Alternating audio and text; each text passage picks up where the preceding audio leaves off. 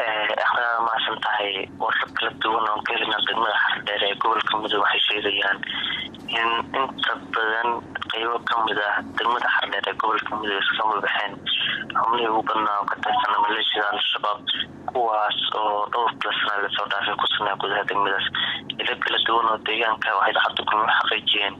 in deegaankaasi xubnihii shabaabka ay ku jira ay baxeen kadib markii meelo kala duwan oo gobolka ah ay ka gujahan yihiin ciidamo ka tirsan militariga soomaaliya kuwa dadka deegaanka culeysyo waaweyn ay la kulmeen. Dadka deegaanka qeyb kamida waxay xaqiijiyeen in dhowr furimood oo ku yaalla afaafka magaalada ay ka baxeen xubnihii shabaabka ahaa islamarkaasna isku dayen qeyb kamida magaalada dadka deegaanka ee magaalada ku noola ayay ku amreen inay ka baxaan magaalada. Islamarkaasna aan lagu arkirin hal qof oo ku nool magaalada. Ciidamada militariga soomaaliya kuwa dadka deegaanka ayaa dagaalamayaasha al-shabaab kala wareegay deegaano hoosteega degmada galaxada ee guduud. Saraakiil hogaamina eekaasi waxaa xaqiijiyey in deegaankaasi aysan wax dagaal ah kula wareegin laakiin ay ka baxeen xubnihii shabaab ay kusugan deegaankaas. Islamarkaasna ay si buuxda lagu wareegeen ammaanka deegaanadaas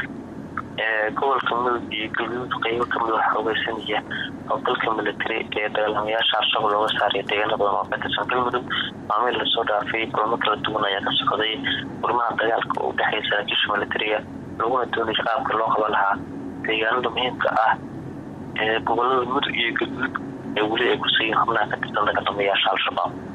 u doona soomaali sudanes hosbitaal daryeel daweyn iyo dhakhaatiirtii khibradda lahayd ee dibadda loo aadi jiray. Bartilmaameedka soomaali sudanes waa badqabka bulshadeenna